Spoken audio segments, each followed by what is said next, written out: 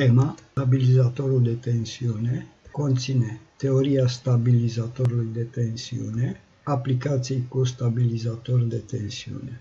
Stabilizatoarele sunt circuite electronice care mențin constantă tensiunea sau curentul pe rezistența de sarcină. Tensiunea stabilizată. În condițiile variației tensiunii de intrare, care este o tensiune nestabilizată, a curentului de sarcină și a temperaturii. Clasificarea stabilizatoarelor se face după mai multe criterii. După parametrul electric menținut constant, sunt de tensiune și de curent. După metoda de stabilizare, parametrice și electronice. După modul de conectare a elementului de reglaj, sunt de tip serie și tip paralel.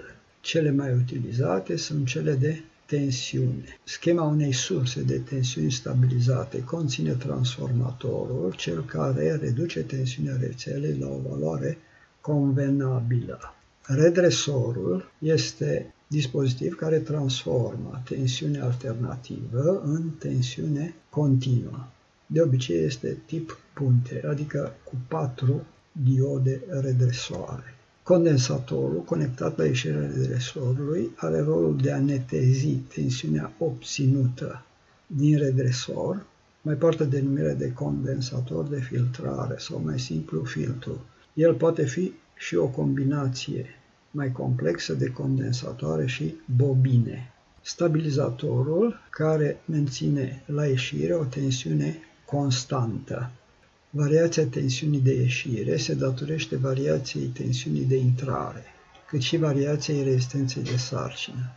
Această variație se definește prin doi factori. Factorul de stabilizare în raport cu tensiunea și factorul de stabilizare în raport cu rezistența de sarcină. La numărător este variația mărimii perturbatoare, care poate să fie tensiunea de intrare sau rezistența de sarcină, iar la numitor este variația mărimii de ieșire, care este tensiunea de sarcină.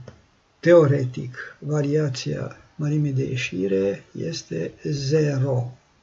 Aceasta înseamnă că factorii aceștia au teoretic valori infinite.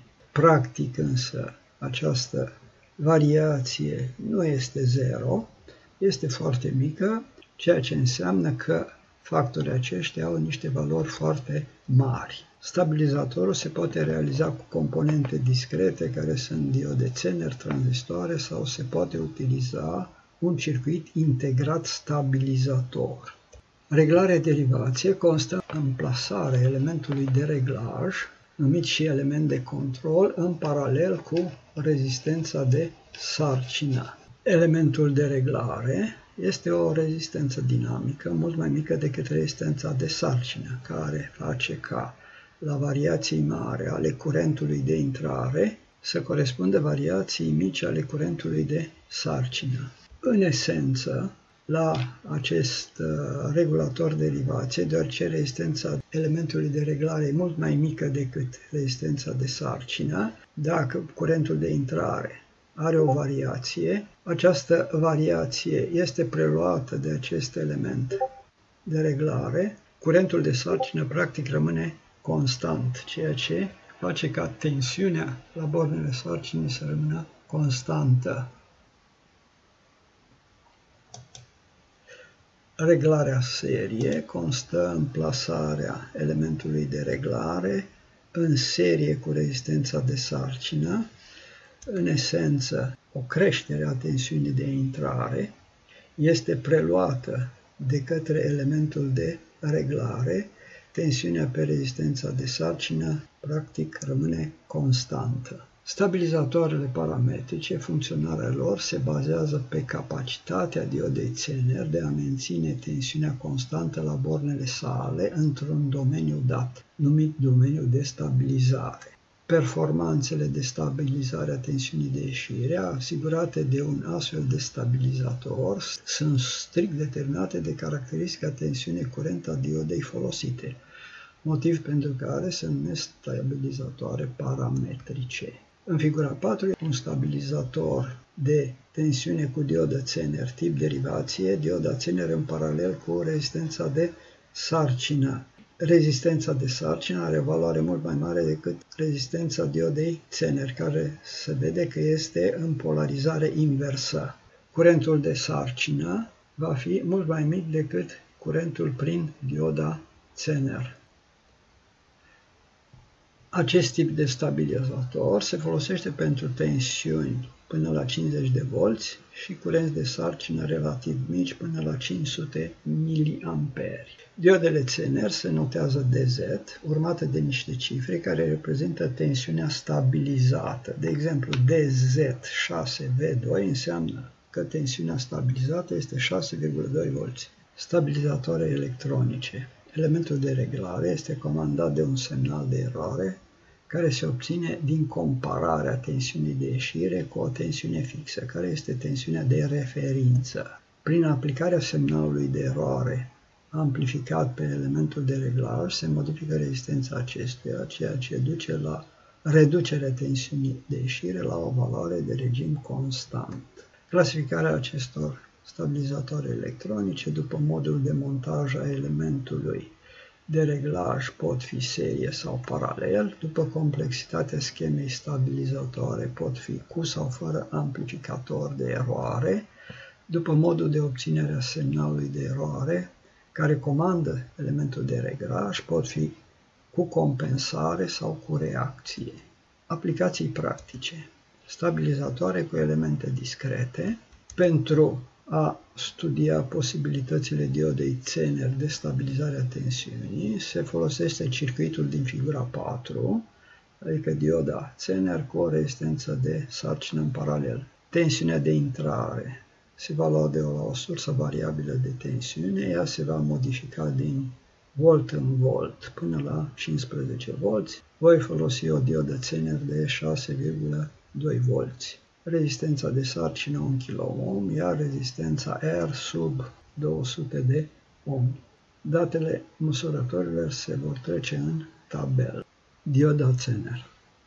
Am făcut montajul în care aceasta este dioda Zener, rezistența de sarcină în paralel cu ea, 3 mA măsoară curentul total, curentul prin dioda Zener, Curentul prin rezistența de sarcină, voltmetru măsoară tensiunea la bornele sarcinii. Aceasta este o diodă Zener de 6,2 volți. Am să măresc tensiunea 3 volți. Curentul 2,4 mA, curentul de sarcină 2,8, curentul prin dioda Zener nu apare, 2,41 tensiunea de sarcină, 4 volți, curentul 3,2, sarcină 3,6, tensiunea 3,12, 5 volți, curentul 3,9 mA, prin dioda Zener încă nu apare, 4,7 mA curent de sarcină, 4,09 tensiunea de sarcină, 6 volți, 5 mA, 0 5,7, curent de sarcină, tensiunea 4,95. La 7 volți, 5,7, curent de sarcină 6,6, 5,69, tensiunea de sarcină, la 8 volți apare curentul prin dioda Zener, 8,8 4,3 curentul prin dioda Zener, 7,2 curentul de sarcină, 6,25 tensiunea.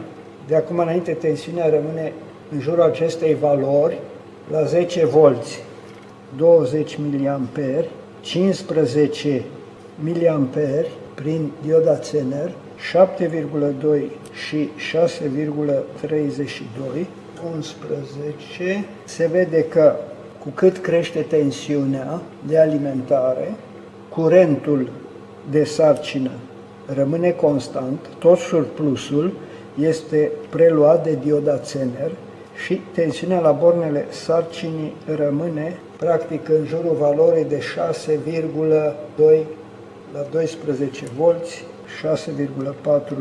6,42, curentul de sarcină 7,4 se vede că prin dioda Zener crește foarte mult acest curent.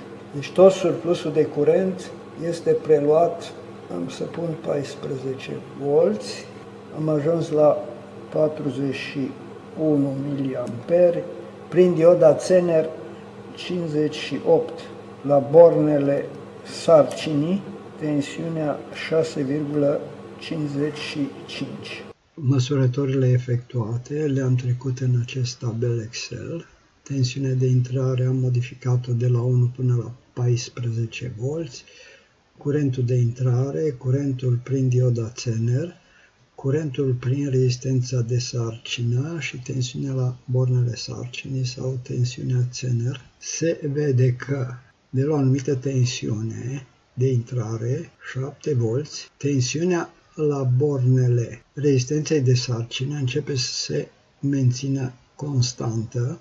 Aceasta a fost o diodă de 6,2 volți. Din catalog am uh, reținut valoarea minimă și maximă a tensiunii redresate 5,8, 6,6. Se vede din tabel că între tensiunea de intrare 7 volți, 14 volți, la bornele rezistenței de sarcină, tensiunea se menține între aceste limite, 5,8, 6,6. Curentul prin rezistența de sarcină se menține constant. Și acesta este efectul de stabilizare. Din uh, relația puterii maxime disipate. Puterea este de 0,4 W. Se deduce curentul maxim prin dioda Zener 64 mA. În experiment am ajuns până la 58,5 mA. Sursă de tensiune stabilizată YW robot. Această sursă stabilizată produce două tensiuni, una 3,3 V, alta de 5 V, Acestea sunt necesare PLC-urilor, cum ar fi Arduino și altele. Ca stabilizator de tensiune folosește două circuite AMS 1117, unul pentru tensiunea de 3,3 și celălalt pentru tensiunea de 5 V. Aceste circuite stabilizatoare, se mai numește regulatoare de tensiune, au trei pini. Pinul de masă, pinul de ieșire, pinul de intrare. Pentru a lucra cu PLC-ul Arduino, am o placă de lucru, un bloc de două relee de 5 volți, două butoane, toate acestea se pot conecta prin intermediul plăcii. Pentru PLC-ul Arduino este nevoie de o tensiune stabilizată de 5 volți sau 3,3 volți. Tensiunea poate fi luată din calculator cu ajutorul unui cablu care are o mufă USB care se atașează la calculator sau se poate alimenta printr-o mufă de la o sursă de tensiune exterioară care poate fi de 7-12 volți. O altă variantă este folosirea unei surse stabilizate de tensiune. Folosesc această sursă stabilizată care se poate atașa pe placa de lucru, este atașată pe placa de lucru, este sursa stabilizată YW Robot. Această sursă se lucrează cu două circuite integrate stabilizatoare AMS. Cele două circuite integrate stabilizatoare. Primul produce o tensiune stabilizată de 5 volți. La intrarea lui se poate aplica o tensiune variabilă între 0 și 12 volți. Cel de-al doilea circuit integrat se alimentează cu 5 volți de la primul și la ieșire are o tensiune stabilizată de 3,3 volți. Alimentarea se face pe la această mufă, ieșirea pe la mufa tip USB care se leagă la, prin cablu la mufa acestui PLC. Pe această placă avem un buton pentru pornire-oprire, un LED care marchează funcționarea, două șunturi care se pot muta pentru a face legătura pentru 5 volți, pentru 3,3 volți, dacă se pune la mijloc, atunci acest uh, dispozitiv este închis. Curentul maxim 0,8 amperi. L-am atașat pe placa de lucru. Am să-l alimentez de la un mic generator de curent continuu.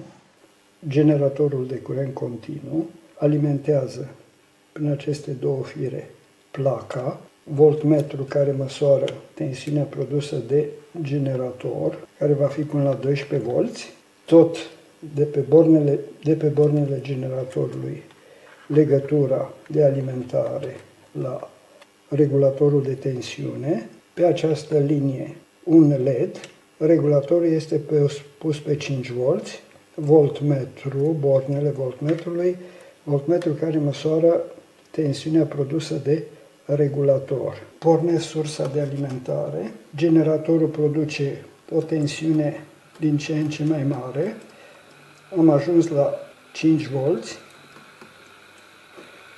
7 volți, regulatorul 5 volți, 9 volți, 12 volți, regulatorul 5 volți. Deci tensiunea rămâne stabilizată la 5 volți. Am alimentat și placa Arduino de la regulatorul de tensiune.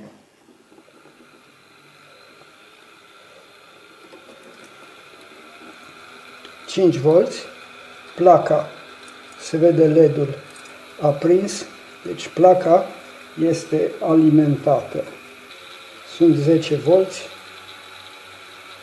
aici la regulator sunt 5 volți.